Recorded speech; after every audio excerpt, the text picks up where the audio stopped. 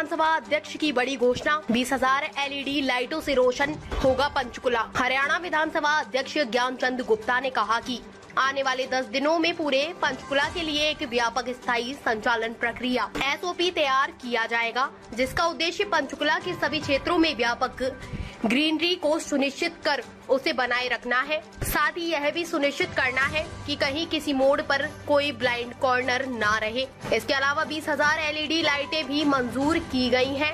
और जल्द ही ये लाइटें पूरे पंचकुला में लगाई जाएँगी। उन्होंने सेक्टर तेईस पंचकुला में नेताजी सुभाष चंद्र बोस सामुदायिक केंद्र में आयोजित जनता दरबार कार्यक्रम के दौरान कुछ निवासियों द्वारा घरों के बाहर अवैध बाढ़ लगाने के संबंध में उठाई गई समस्याओं के जवाब में बोलते हुए आज यह जानकारी दी। जनता दरबार में उन्होंने लोगों के साथ सक्रिय रूप से जुड़े और उन्होंने पंचकुला विधानसभा क्षेत्र के सेक्टर 21 से सेक्टर 32 तक के निवासियों द्वारा लाई गई पचपन शिकायतों को ध्यान पूर्वक सुना।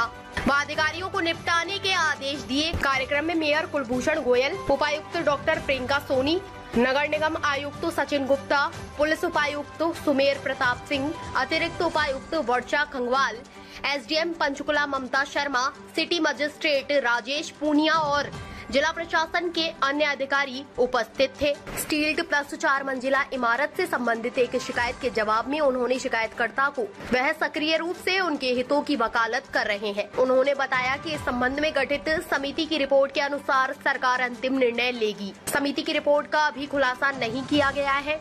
मुख्यमंत्री मनोहर लाल भी इस मुद्दे पर संजीदा हैं। रिपोर्ट की सिफारिशों के आधार पर सकारात्मक कदम उठाए जाएँगे। मेरा एक रूटीन प्रोसेस है।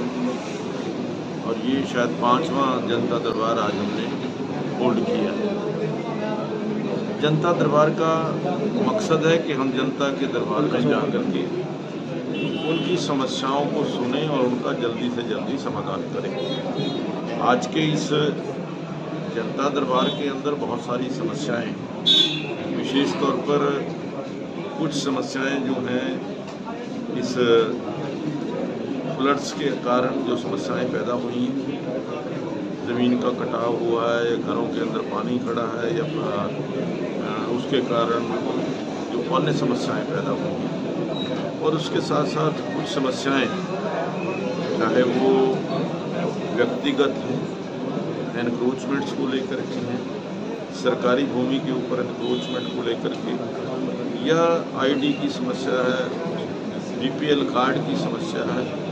ये बहुत सारी समस्याएँ आज यहाँ इसमें आई। हैं मैंने सभी अधिकारियों से कहा है कि एक माह के अंदर ये सभी समस्याओं का समाधान होना चाहिए। अगर नहीं होता तो उसका कारण पता लगना चाहिए कि इसके क्यों नहीं हुआ। इसकी हमने कहा है कि पाँच सितंबर को फिर से दोबारा ये जो हम अधिकारियों के साथ बैठेंगे और एक एक समस्या, कौन कौन सी समस्या का समाधान हो गया, कौन सी का समाधान नहीं हुआ है नहीं हुआ तो क्यों नहीं हुआ? है और उसके अगर कहीं अड़चन है, सरकारी अड़चन है, उसको हम दूर करवा करके जन समस्याओं का समाधान करने का हम प्रयास करेंगे। बहुत सारे लोगों की जो व्यक्तिगत समस्याएँ हैं परंतु हमने कहा है कि कहा है कि दो दिन के अंदर या एक सप्ताह के अंदर ये समस्याओं का समाधान होना चाहिए। और लाइट पॉइंट्स पे भिखारी आ चुके हैं सर। उनकी सर जाँच होनी ज़रूरी है। कहीं ऐसे लोग थे जो बाहर से ये बिल्कुल एक बहुत अहम मुद्दा जो है ये आज भारत के अंदर आया है। मैंने डीसीपी साहब से कहा है कि जितने भी नए यहाँ पर रेडी फड़ी वाले आ रहे हैं या मार्केट के अंदर बैकर्स आ रहे हैं, चौक के ऊपर आ रहे हैं, उनकी जाँच होनी चाहिए। और जो भी कोई व्यक्ति संदिग्ध है, उसकी जो वेरिफिकेशन है, वो मस्ट होनी चाहिए, ताकि कोई भी कल्प्रिट जो है या कोई भी जो संदिग्ध आदमी हमारे प्रदेश की, हमारे इस पंचकुला शहर की शांति व्यवस्था को भंग न कर ताज़ा अपडेट्स और बड़ी खबरों के लिए सब्सक्राइब करें आज प्रकाश टीवी और बेल आइकन दबाना न भूलें।